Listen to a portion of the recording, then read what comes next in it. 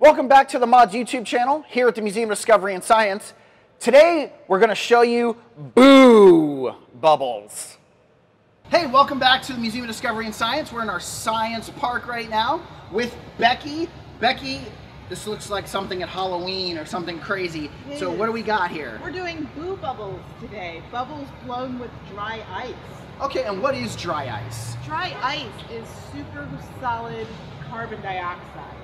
Okay, And that's so normally if you go like this, you Whoa. breathe out carbon dioxide. I Okay. know.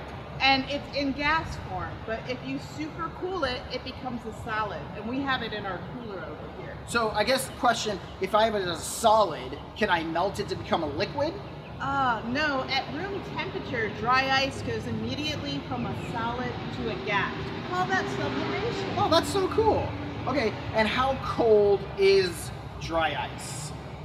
I think it's a negative 120. Hot, good. Okay, fantastic. And so probably not something you should touch with your hands. No, that's why you have gloves on the That table. That is right. So tell me how we're going to make this contraption work. Is this something I can build at home, maybe? Um, you can, or you can just end up with a pitcher and some dry ice and some water and some dish soap.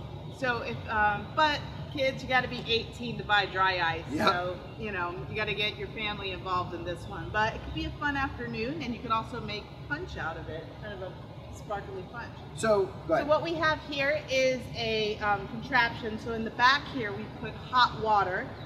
So why do you think we use hot water? Um, is it because it's the opposite of cold? Exactly, it'll make the reaction go faster. And then we dropped in some chunks of dry ice, which you're gonna use gloves for, right? Yes, I am. I'm getting on my gloves. Safety first here. right Michael.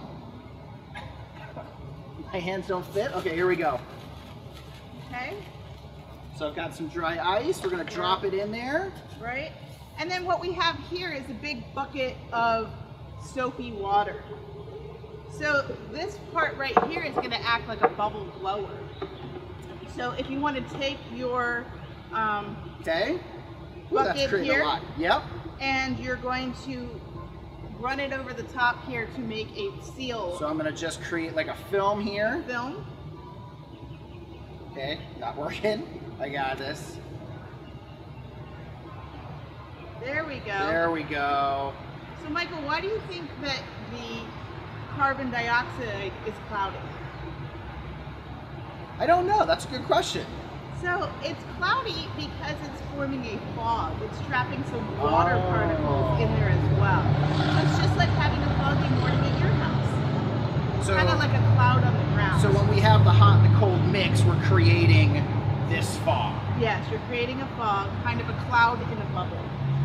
This is a lot of fun to do. Oh, it's like bouncing on top of this. Right. That's because of the surface tension. The soap allows the water to be extra sticky. I'm such a child right now. I keep playing with this thing. No, I, I want you to play. Science is fun and it's meant to be played with. So you can see that the bubble is forming on me, and that is, like she mentioned, the, the surface tension. I'm not disrupting it, but once I don't have enough soap on my hand, I am, my skin is too rough for the bubble to stay. That's why when we play with bubbles and they touch your skin, they pop immediately. Right.